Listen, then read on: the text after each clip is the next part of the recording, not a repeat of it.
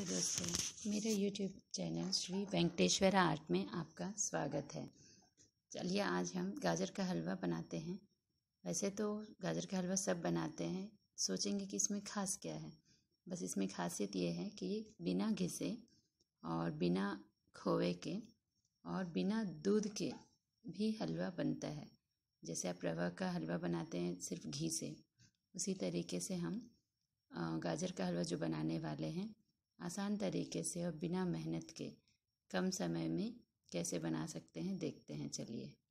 और इस जब ये बनता है तो इसका स्ट्रक्चर ऐसा दिखता है।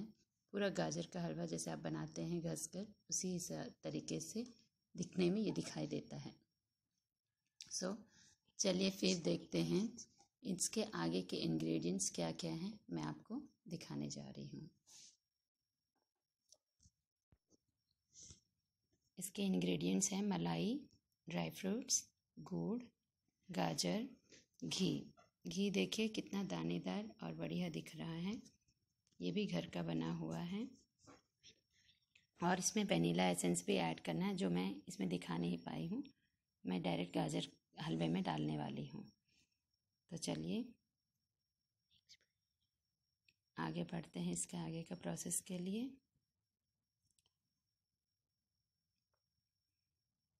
गाजर को कट करके, साफ़, साफ़ करके कट किया था और मैंने हाफ़ बॉईल किया है।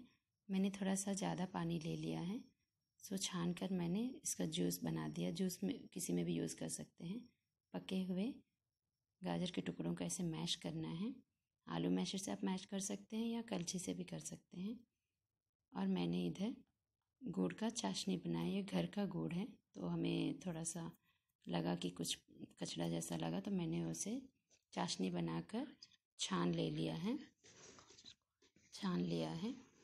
अब इसके बाद चाशनी जैसे गाढ़ा चाशनी बन गया है, इसे हम गाजर के इसमें डालेंगे। जो पके हुए गाजर थे, उसमें हमने इस चाशनी को ऐड कर दिया तो ये इस तरीके से बन गया है।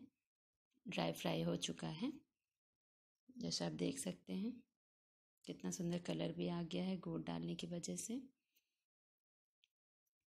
अब मैं इसमें मलाई ऐड कर रही हूँ। मलाई आप अपना स्वाद के अनुसार यूज़ कर सकते हैं। जैसे मैंने तीन किलो गाजर के लिए मैंने आधा भाव से ज़्यादा मलाई लिया हुआ है। और उसको अच्छे से मिक्स कर देते हैं। मलाई डालने के बाद हमारा कुछ इस तरीके से आया। फिर मैंने इसमें घी ऐड किया है। घी अपने स्वाद के अनुसार घी ज़्यादा भी डाल सकते हैं या कम भी। इससे जो शाइनी लुक आता है बहुत ही प्यारा शाइनिंग आ रहा है। देखिए, घी डालने के बाद इसका कलर भी चेंज हो गया है। अब देखिए, पूरा फ्राई हो गया अच्छे से। अब इसमें हम मलाई डालने के बाद कुछ इस तरीके का हमारा हलवा तैयार हो गया है।